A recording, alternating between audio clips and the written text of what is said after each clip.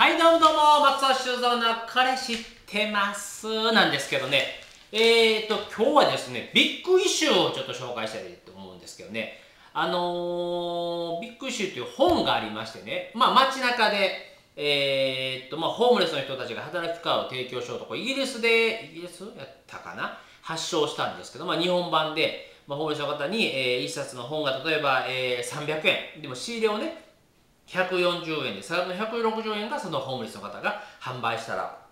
利益になるということなんですけど、まあ、たまにあの大阪駅とかでは販売してます。私もね10年ぐらい前なんかこうだなと思って調べていったら、ね、ちょうど2003年ちょうどほんと10年前ですわ。にもう創刊してすぐの時に知って買ったんですけどまあいろんな情報が載ってましてね。えー、ですからこれはもうあくまでもその街中で売るということでホームレスの方のえー、まあ、援助をするという意味で、えー、始めた出版。まあ、これはなかなかね、まあ、300円で売って160円上げてって言ったら大変らしいですわ。1000冊売れて、